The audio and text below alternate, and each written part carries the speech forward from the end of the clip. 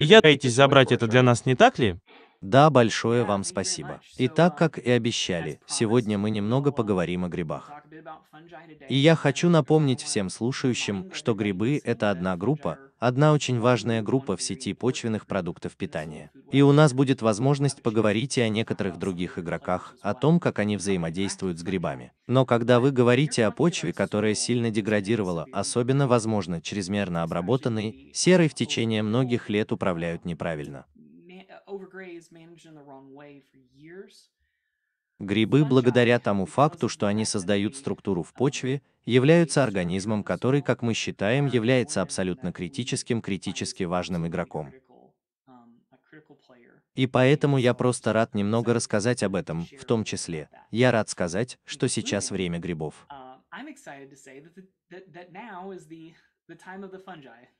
Мы видим научно-популярные твиты. Мы даже видим шутки. Я не знаю, понял ли кто-нибудь эту шутку о криптовалюте, но она слишком хороша, чтобы не поделиться ею. И это правда. На самом деле несменяемость всегда будет означать невозможность превратиться в гриб, поскольку несменяемость — это не физическое явление. И поскольку большая часть остального мира может превратиться в гриб, если дать ей достаточно времени, даже вы, даже я, когда-нибудь мы сможем превратиться в грибы. Я думаю, это очень здорово, что люди говорят об этом, что мы делимся всеми замечательными, красивыми грибами, которые есть в мире. Интернет – отличное место для этого. Кроме того, там есть книги. Итак, вот два джентльмена, которые были у нас здесь, в веб-школе Soul Food, в качестве докладчиков и участников дискуссии на нашем недавнем саммите по почвам. Мерлин Шилдрейк и Питер Маккой. На самом деле, пара из нас здесь в школе. Только что вернулась со специального курса Питера Макоя «Радикальная конвергенция микологии», который был отличной возможностью пообщаться с людьми и просто оценить все то, что грибы могут нам предложить, потому что они замечательные и фантастические.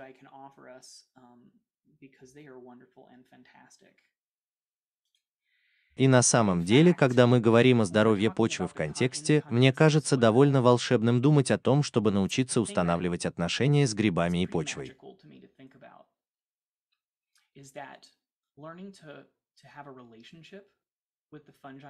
Учимся тому, как помочь поддержать то, в чем они нуждаются, чтобы они могли помочь поддержать нас и процесс восстановления почв.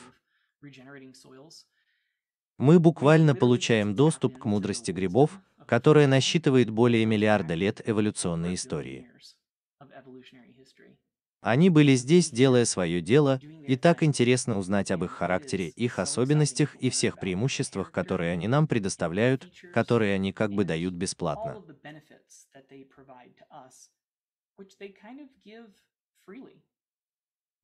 Поэтому я просто хочу начать с этой идеи. И это цитата, которую вы, возможно, слышали о Поле Стамите, потому что он довольно известен в мире грибов. Но я подумал, что это действительно подходит и к какому-то подходу к сети почвенных продуктов питания, потому что он говорит, что вся наша пища поступает из почвы. Когда мы начинаем разрушать биологию почвы, мы разрушаем пищевую сеть, которая дает нам жизнь. И это уже кое-что. Это всего лишь отправная точка, чтобы сориентировать нас на весь сегодняшний разговор в целом. Потому что, как я уже упоминал на вебинаре номер один, здоровые почвы поддерживают устойчивые экосистемы, сообщества людей, животных и растений и в конечном счете нации, не так ли?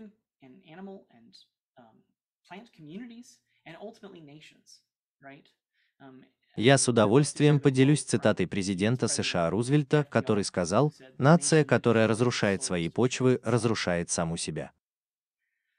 Вот это для меня, я был, я искал. Это то, что нужно. Иногда трудно представить себе, что происходит в почве. Но давайте подумаем о том факте, что то, что нам легче увидеть, даже такие крупные существа, как слоны, действительно существуют из-за того, что происходит в почве. Слоны питаются растительностью, и эти растения зависят от микроорганизмов, с которыми они находятся в сообществе, не так ли? И поэтому, если наша цель состоит в том, чтобы увидеть такие вещи, как сохранение земель по всему миру, у нас может быть безопасное убежище для биологической жизни, с которой мы делим эту планету.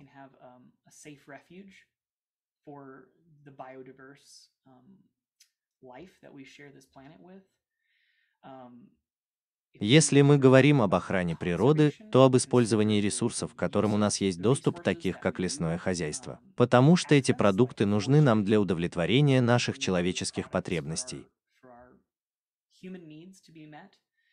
А если мы поговорим о сельском хозяйстве, производстве продуктов питания на скотоводстве или производстве хлопка, который я сейчас ношу, не так ли?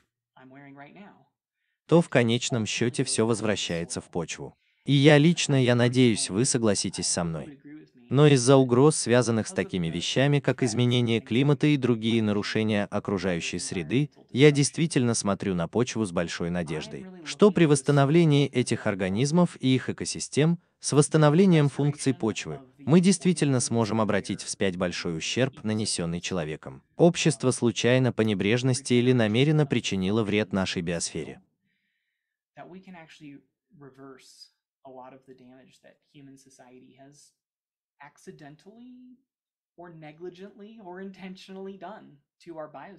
И я действительно не хочу жить в мире, где нет слонов.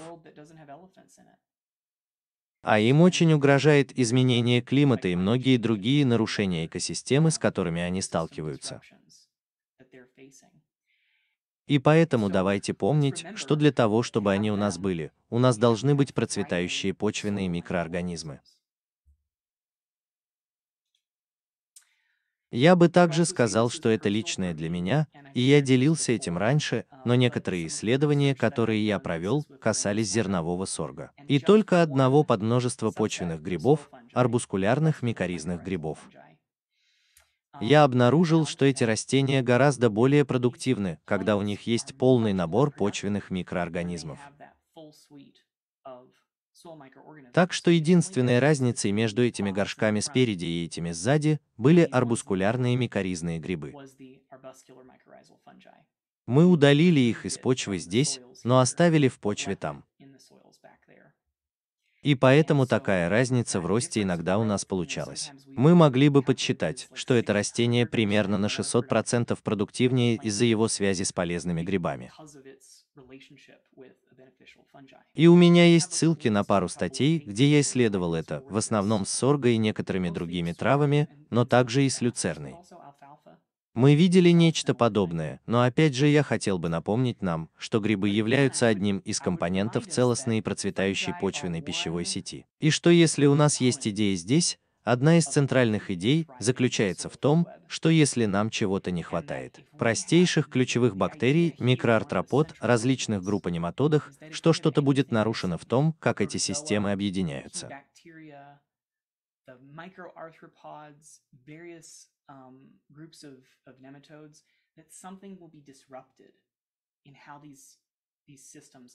Нам нужно присутствие каждой функциональной группы. Нам нужно изобилие, достаточное изобилие, и нам нужно разнообразие. Это действительно вспомогательные аспекты процветающей почвенной продовольственной сети. Итак, опять же, сегодня мы поговорим о грибах. Но они не единственный игрок на Земле. Они действительно обеспечивают кое-что очень важное. Они выполняют ту роль, которую ничто другое не выполняет в почве. У них есть свой особый вклад, который они вносят. Грибы – одни из самых эффективных реакторов в мире.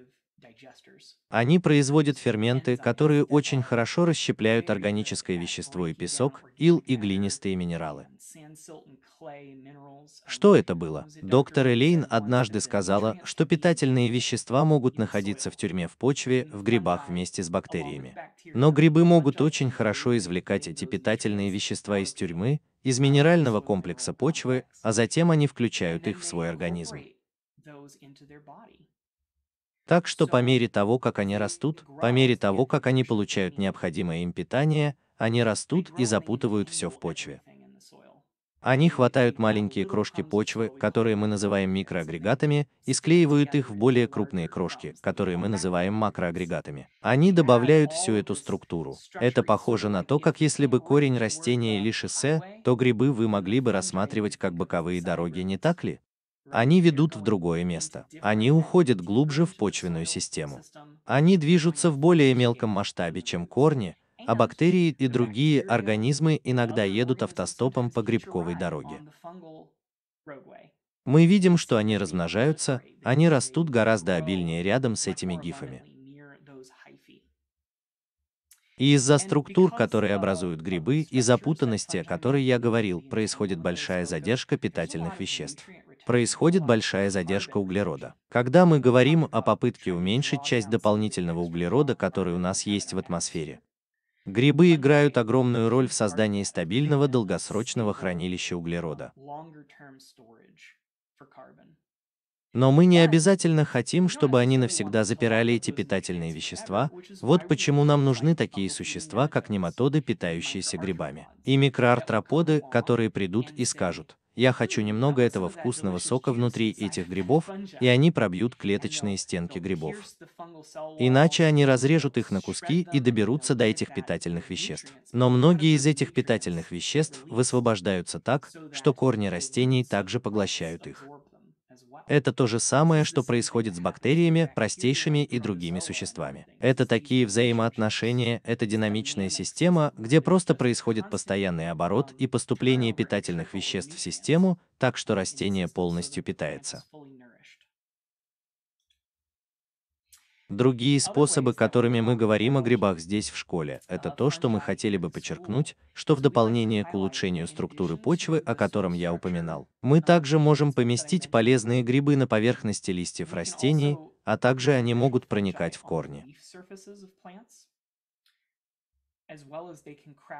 Это снимок, который я сделал с некоторыми арбускулярными микоризными грибами, и они могут покрывать эти поверхности растения броней. Так что потенциальным патогенным организмам некуда приземлиться и начать атаковать растения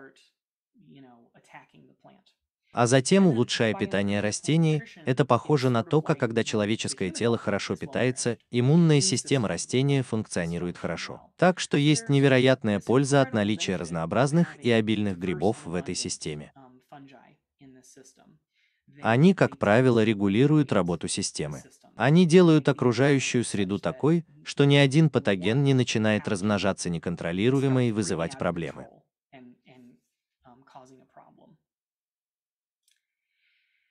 Недостатком этого является то, что все эти преимущества могут быть потеряны в промышленном сельском хозяйстве, потому что такие вещи, как обработка почвы, интенсивная обработка почвы, разрушают грибковые сети, верно?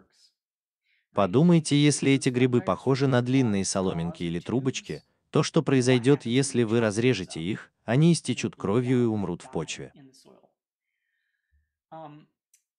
Многие агрохимикаты, которые мы используем, биоциды, синтетические удобрения, могут уничтожить грибы в почве. Мы видим большой сдвиг там, где, возможно, у нас было 40 видов грибов. А затем, если вы сделаете что-то вроде удобрения с большим количеством азота, это сократит количество грибов до пяти видов, не так ли? Вот некоторые исследования, которые показывают, что широко используемые методы ведения сельского хозяйства могут отбирать менее разнообразные грибы. И тогда ведение парового поля является огромной проблемой.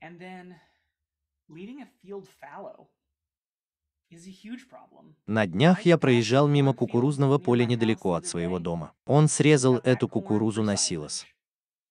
Он сразу же вспахал землю, а потом поле осталось голым, печущимся на солнце, и я просто слышу, как все микроорганизмы кричат в предсмертном крике, когда я прохожу мимо этого поля. Потому что они открыли его солнечному свету, теплу. Там не так много органических остатков для еды. Может быть, бактерии счастливы, по крайней мере, какое-то время, но грибы действительно страдают в таких ситуациях. Нам нужны живые растения, покрывающие почву круглый год, чтобы прокормить эти разнообразные организмы, а монокультура – еще одна огромная проблема. Когда он сажал только кукурузу, этот фермер, возможно, кормил несколько специфических видов микроорганизмов. Но они не производили все различные гормоны, эксидаты, факторы роста, белки и ферменты в почве, которые вы могли бы увидеть в естественных условиях, верно?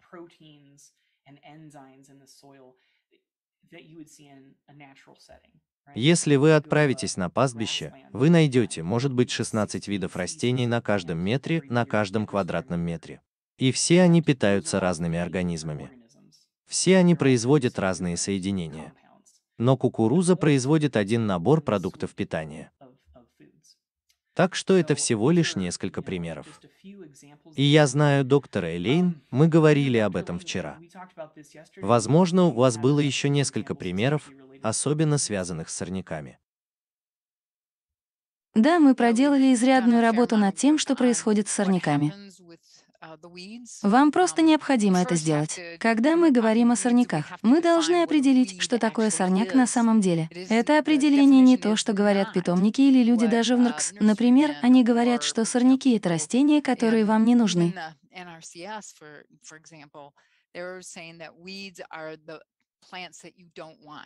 Таким образом, с помощью этого определения вы говорите мне, что каждое растение на этой планете — сорняк. Так какой же смысл в этом определении? Это совершенно бессмысленно. Давайте перейдем к экологическому определению сорняков, где речь идет о наших отобранных растениях.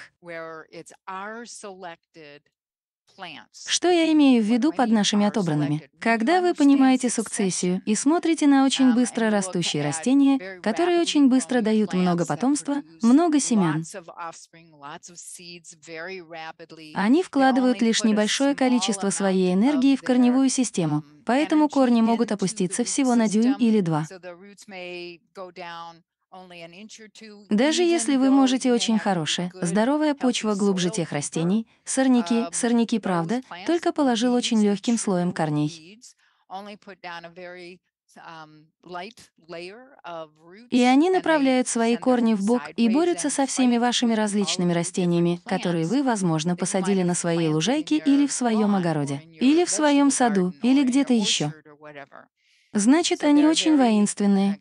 Если подумать об этом с какой-то определенной точки зрения, то они растут очень быстро. Они будут поглощать все питательные вещества, которые эти сорняки будут поглощать, все питательные вещества, которые они только могут. И они выигрывают в конкуренции с растениями. Вы хотите, чтобы у вас росли культурные растения. Так как же вы с ними справляетесь? Как мать природа изменяет почву таким образом, чтобы на более поздних стадиях подряд сорняки не добивались успеха? Если вы когда-нибудь заходили в зрелый лес, то на поверхности этой почвы очень мало сорняков. У вас есть все виды подлеска. У вас есть следующий слой, следующий слой, а затем всеохватывающий полог. Так что же конкретно делает природа для борьбы с этими сорняками?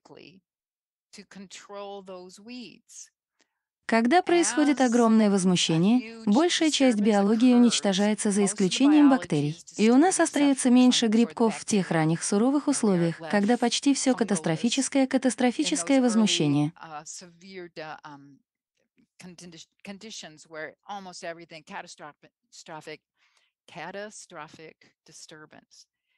И поэтому единственное, что в конце концов растет в этой дыре, это бактерии. И поэтому бактерии в аэробных условиях не произведут никаких трех. Они заберут весь N4, который выделяется хищниками бактерий. И поскольку этот N4 выделяется почти мгновенно, этот N4 превращается в NO3. И таким образом, это преобладающая форма азота на тех ранних стадиях сукцессии, когда сорняки так счастливы, что почти ничто не может их победить. Случилось так, что нитрат — это то, в чем нуждаются сорные растения. И поскольку бактерии начинают делить сцену с грибами, откуда берутся грибы?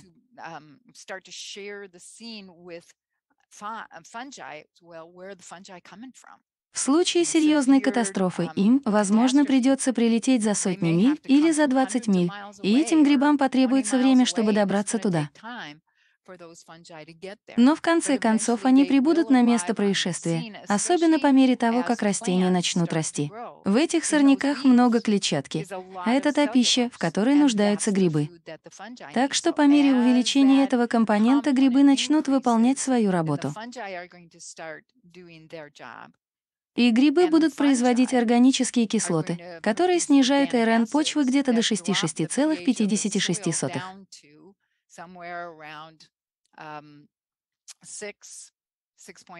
0,9, где-то в этом диапазоне. И теперь нейтрифицирующие бактерии не могут преобразовать N4, который выделяется при взаимодействии хищника и жертвы. Этот N4 остается N4. И чем больше N4 у вас в почве, тем больше сорняков, чертополоха и одуванчиков и всего того, что вам не нравится выращивать на ваших полях или в ваших садах. Позаботится мать природа.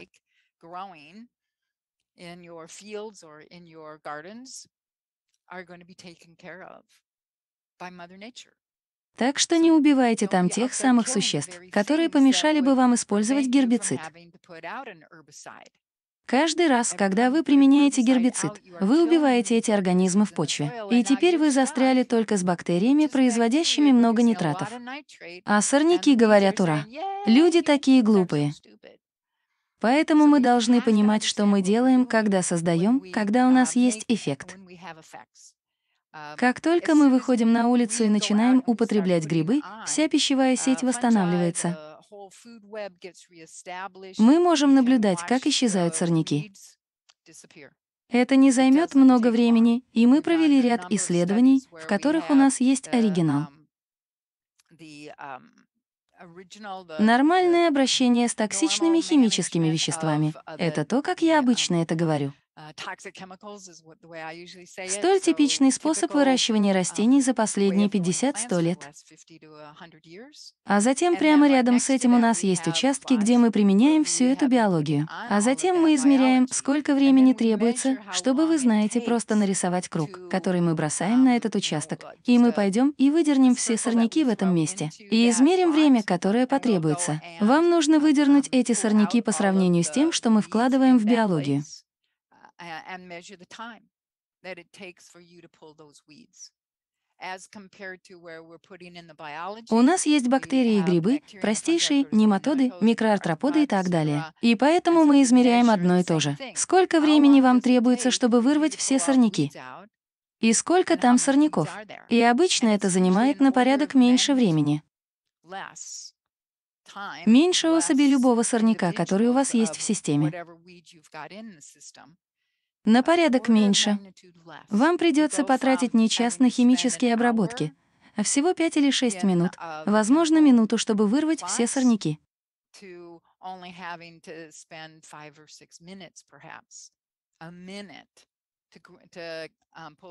Вот насколько разными будут эти системы.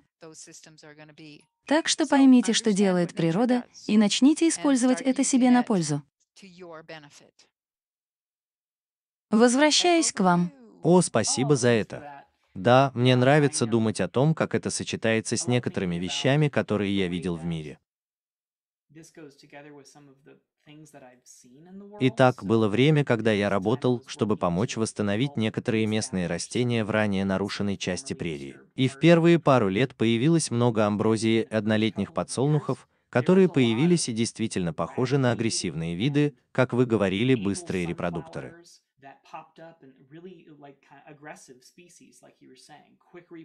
Они начали раньше всего остального в этом сезоне. А затем, когда мы восстановили арбускулярные микоризные грибы и привезли несколько растений-кормилец, у которых была установлена эта взаимосвязь, мы увидели эти однолетние виды. Вроде как нет. У них больше не было подходящего контекста. У них не было той среды, которую они хотели. Они не могут получать необходимые им питательные вещества из Земли, потому что они конкурируют за это пространство, за эти соединения. Совершенно верно. Это действительно круто. Хорошо, итак, доктор Элейн подготовила для нас вот что. У нас есть путь. Она открыла путь, который поможет нам выбраться отсюда. Действительно ли здесь это потревоженная грязь? Это от типичных, плохо управляемых сельскохозяйственных угодий вплоть до прекрасной почвенной экосистемы, верно? Это регенеративный процесс. И это разбивка всего за четыре шага. Это особенно заметно с января. Более подробная информация об этих шагах на нашем канале YouTube. Но мы идем туда и фактически оцениваем, чего не хватает в сети почвенных продуктов питания. А затем мы находим те недостающие микробы, которые адаптированы к местным условиям, не так ли? Они получены из местных материалов, и с помощью специализированной системы компостирования, которая представляет собой термофильное аэробное компостирование, мы делаем инокулят. Просто дело даже не в том, что компост добавляет так много питательных веществ, хотя и добавляет немного, но это так. Он битком набит всеми этими разнообразными, обильными недостающими компонентами почвенной пищевой сети. Мы даже можем взять этот компост, а затем приготовить из него чай или экстракт. Но в той или иной форме или способом мы применяем эту поправку как инокулят к почве, к поверхности растения. И затем она восстанавливает эти недостающие микробы в этих нарушенных отношениях. Это приводит систему в нормальное состояние, прямо туда, где динамика положительная и где есть все функциональные игроки, которые нам нужны, а микроорганизмы делают свое дело. И мы действительно просто следим за ними. Когда вы используете микроскоп, чтобы сказать, «Я пытался заниматься этой сельскохозяйственной практикой, какое влияние это оказало на почвенную пищевую сеть? Я применил этот продукт. Что это сделало с моими микроорганизмами? Мы постоянно возвращаемся назад и просим микроорганизмы быть нашим индикатором. Правильно ли мы поступаем? Правильно ли мы поступаем в почвенных системах, так что там есть больше информации по этому поводу? Мне всегда нравится, когда я говорю о грибах, придавать большое значение тому, как мы должны избегать змеиного масла во многих коммерческих инокулянтах, представленных на рынке. Я знаю только один или два, с которыми я бы даже попытался поэкспериментировать. Но в этой статье, которая недавно вышла вместе со мной и некоторыми моими коллегами, мы изучили шесть коммерческих прививок и обнаружили, что в некоторых случаях они фактически стимулировали рост инвазивных или сорных растений или растений, которые мы не хотели использовать в системе пастбищ. И у многих из них был высокий уровень азота и фосфора в носителе. Поэтому они сказали, что это всего лишь грибковая прививка. Но на самом деле там была рыбная мука или что-то еще, возможно, даже с добавлением синтетического азота. И поэтому мы увидели действительно высокий уровень питательных веществ, которые на самом деле могут еще больше нарушить эти отношения в природе. Поэтому мы ищем такие микроорганизмы, как грибы. Чего они хотят? Им нужна пища, которую они любят есть. Они хотят условий, в которых им нравится расти. Когда мы сможем найти эти организмы в нашей местной среде вместо того, чтобы покупать этот коммерческий продукт, который будет не очень хорошим. Они колонизируют поверхность или корни множества растительных материалов вокруг в нашей среде обитания.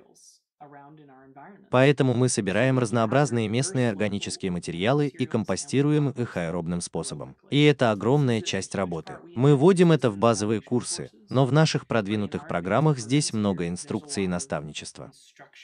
И такие люди, как Карла, работают рука об руку с людьми, которые пытаются выяснить, как мне правильно сделать это компостирование, чтобы в конце получить действительно хороший прививочный материал.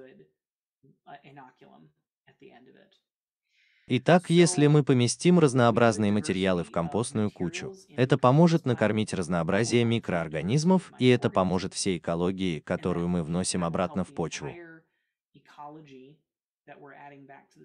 Биология почвы будет более устойчивой, будет обеспечивать больше функций. Таким образом, у нас есть эти три различных исходных материала, которые являются действительно широкими категориями. Где мы говорим, что нам нужны материалы с высоким содержанием азота, нам нужны зеленые материалы и нам нужны древесные или коричневые материалы. Древесные и коричневые материалы обычно составляют 50-60% нашей компостной кучи. Это действительно хорошая пища для грибов. И поэтому мы классифицируем эти различные группы исходных материалов по соотношению углерода к азоту. Итак, сколько углерода содержится в этом материале на каждый атом азота? Каково сравнение между углеродом и азотом? Итак, материалы с высоким содержанием азота мы обычно классифицируем как содержащие около 5 углерода на каждый азот, вплоть до 25 углерода на каждый азот в материале. А затем зеленые материалы. В дополнение к тому, что они, возможно, похожи на более свежий растительный материал, не так ли? Во многих случаях свежесрезанные все еще полные всех соков. Они, как правило, имеют диапазон от среднего уровня углерода до азота. А затем, когда мы переходим к этим коричневым и древесным материалам, на каждый азот приходится более 60 атомов углерода. Даже до вас можно было бы сделать материал, в котором на каждый азот приходится сотни атомов углерода. Некоторые породы лиственных пород. Так что это общие ценности. Вам придется много покопаться в интернете, чтобы, возможно, придумать какие-то другие идеи о том, каково соотношение углерода и азота в том, что у вас есть. И это огромная часть наставничества, которое мы также предлагаем. Здесь есть чему поучиться, но мы помещаем эти материалы в систему с термофильным аэробным компостом, который помогает отфильтровывать анаэробные организмы, которые могут вызывать болезни. У них нет той окружающей среды, которая им нравится, поэтому они закрываются. Они умирают, они впадают в спячку, и это поощряет эти аэробные организмы, которые приносят много пользы нашим растениям. И она должна быть теплолюбивой, достаточно горячей достаточно долго, чтобы делать такие вещи, как убивать семена сорняков, загонять вредные организмы в состояние покоя.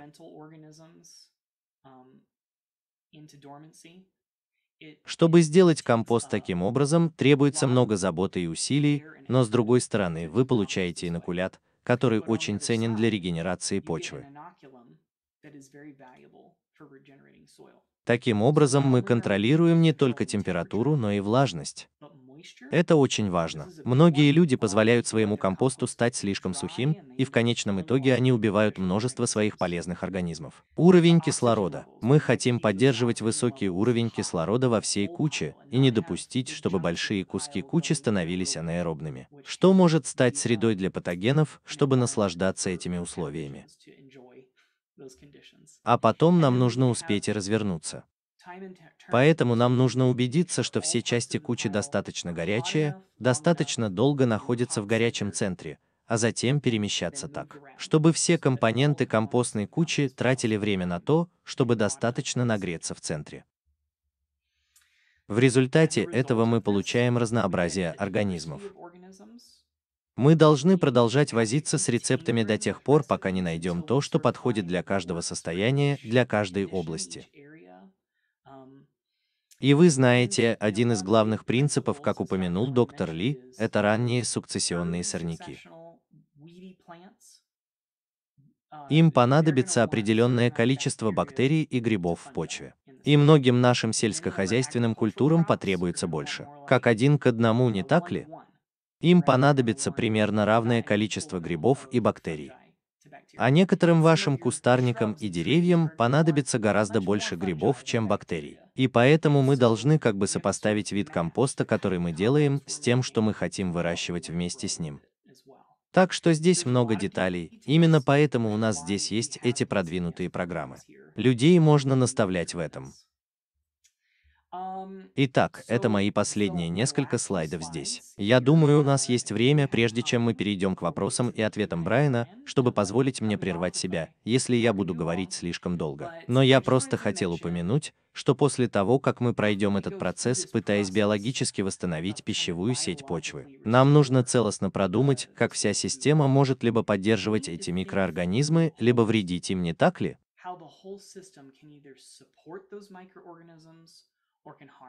Итак, мы уже упоминали о обработке почвы. Если вы каждый год приходите в свой сад с мотоблоком, это на самом деле не поддерживает микроорганизмы, не так ли? Это будет продолжать отбрасывать эти популяции назад, причиняя вред. Итак, вот семь регенеративных практик, о которых, как вы знаете, уже упоминалось в научной литературе. Другими словами, мы черпаем вдохновение из других вещей, которые мы видим в движении регенеративной медицины, и фильтруем это через то, что было протестировано и с нашей стороны. Эти практики, как правило, ориентированы на микроорганизмы, не так ли?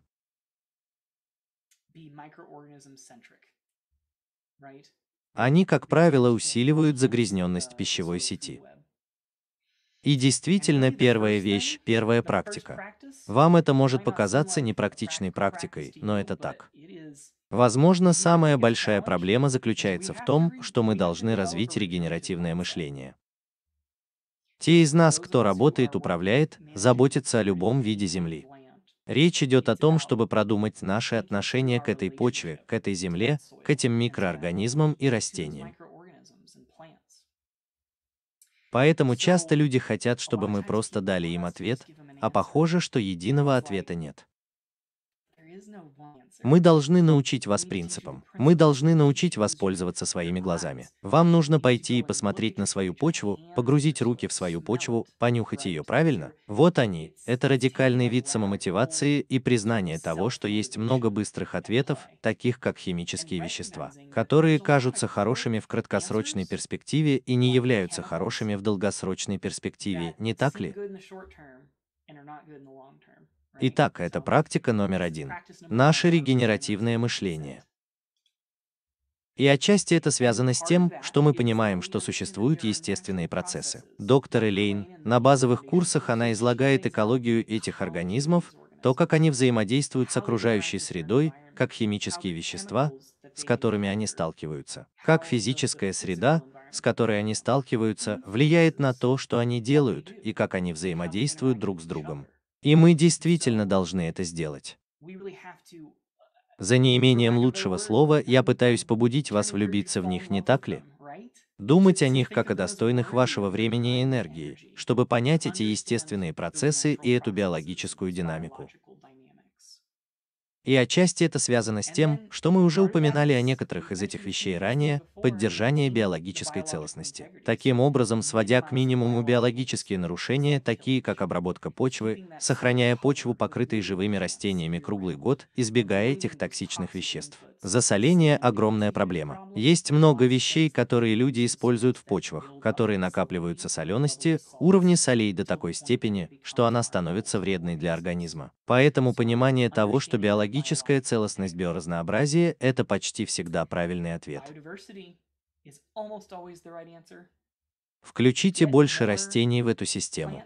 Больше разнообразных растений. Убедитесь, что там есть все ваши организмы, те, которые, как вы знаете, вы, возможно, слышали, как это сказано как вверху, так и внизу. Мы склонны видеть отражение того, что разнообразные почвенные микроорганизмы приведут к разнообразию растений, а разнообразие растений ведет к почвенным микроорганизмам. Это происходит прямо между этими двумя мирами. Включение животных в вашу систему может иметь огромное значение. Они могут помочь более эффективно перерабатывать питательные вещества. Здесь еще многое предстоит сделать, но биоразнообразие – одно из самых важных. Мы говорим о том, чтобы свести к минимуму ваши внешние затраты, кроме, может быть, компоста, не так ли? Возьмите что-нибудь с полки, синтетическое удобрение, продукт на основе соли. Это может быть очень вредно для микроорганизмов. Эти жуки в кувшине, о которых я говорил ранее. Коммерческие инокулянты могут содержать вредные вещества там, где у них могут быть просто плохо адаптированные организмы.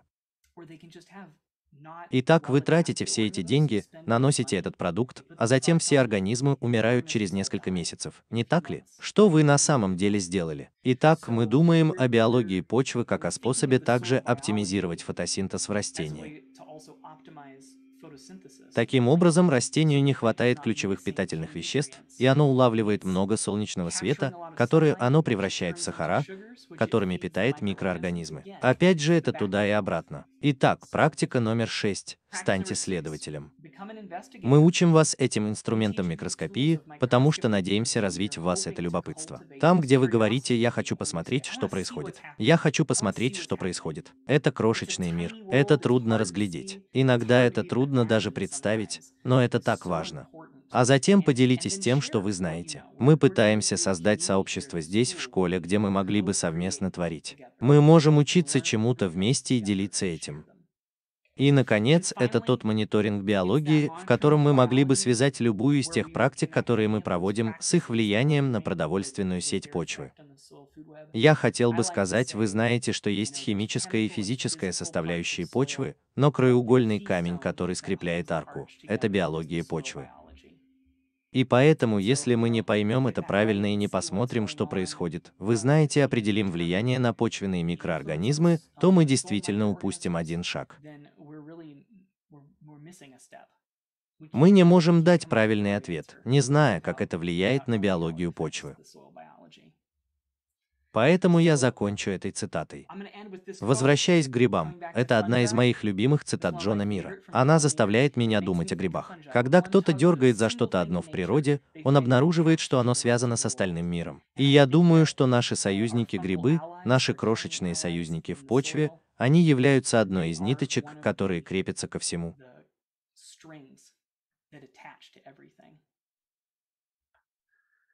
И, Адам, я думаю, вы собираетесь поделиться этим, не так ли? Да, идеально.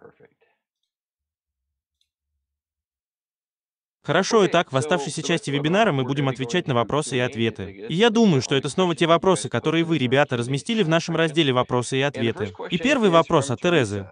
И вопрос в том, возможно ли, чтобы в почве было слишком много грибов, и каково правильное соотношение? Следует ли добавлять грибы в компостную кучу? Есть ли какие-либо виды грибов, которые не следует добавлять в компостную кучу? В этом вопросе так много вопросов, но мы имеем дело с грибами. Таким образом, участники дискуссии сказали бы, что у вас есть грибы, и сколько грибов вы хотите видеть в почве. Это должно быть связано с растениями, с культурами, которые вы пытаетесь вырастить, чтобы мы знали, каковы правильные соотношения для большинства растений. Вы знаете, нам иногда нужно просто хорошо подумать. Плана, о котором я хочу знать, нет в их списках. Но вы знаете, это ужасно похоже на сирень или просто на грядку для помидоров. Так что вы могли бы выяснить, каким должно быть соотношение грибов и бактерий, и получить биомассу грибов и бактерий, правильно? Это то, что мы действительно ищем. Так что если вы пытаетесь вырастить капусту, и у вас в почве есть грибы старовозрастного леса, ничего хорошего из этого не выйдет. Вы должны быть в этом уверены. Возможно, вам даже придется это сделать. Если бы вы начали со старовозрастного леса, вы, вероятно, захотели бы немного потревожить его, чтобы вернуть к правильному балансу грибов и бактерий, простейших и нематод. Так каково же правильное соотношение? Это зависит от того, что вы хотите вырастить. И вот здесь, вероятно, будет лучше всего. Если у вас есть наставник, чтобы вы знали, запишитесь, пройдите курсы EFC. А затем, когда вы перейдете на курсы более высокого уровня, у вас будет наставник и много хороших дискуссий между вами и вашим наставником. Так стоит ли добавлять грибы в компостную кучу? Опять же, это стандартный экологический ответ. Это зависит от обстоятельств. Чего вы добиваетесь? Так, есть ли какие-нибудь виды грибов, которые не были бы добавлены в компостную кучу? Да, ядовитые грибы — это, вероятно, не то, что вы хотите видеть в своей компостной куче. Так что вам действительно нужно немного узнать о том, какие виды надземных грибов появляются. И я уверена, что Адам сможет добавить еще несколько предложений по этому поводу. Я просто хочу отметить, что иногда мы говорим людям, что они могут пойти и взять немного опавших листьев или другого материала из действительно процветающей экосистемы в их районе, которая уже будет полна грибковых гифов или других вещей. Мы просто не хотим, чтобы вы выходили и беспокоили этим большие территории, верно? Так что если бы вы выращивали зерновую культуру, я мог бы сказать, хорошо, есть ли разнообразные пастбища, на которые вы могли бы пойти и взять немного почвы и немного, вы знаете, растительного материала. Может быть, было бы неплохо поместить эти организмы в вашу кучу до процесса компостирования, чтобы любые патогенные микроорганизмы, которые у тех, кто там находится, будет шанс погибнуть от жары. Но вы же знаете, что это такое. Это может быть отличным способом получить больше разнообразных грибов в вашу компостную кучу. Я также делал компост там, где я не делал много такого рода вещей, и я нашел там много разнообразных грибов, так что они попадают в воздух и другие вещи. И да, я действительно знаю некоторых людей, которые любят заниматься добычей пищи. Они знают достаточно о различных грибах, чтобы собрать несколько шляпок неядовитых грибов и добавить их в свою компостную кучу. И мне это тоже кажется разумным.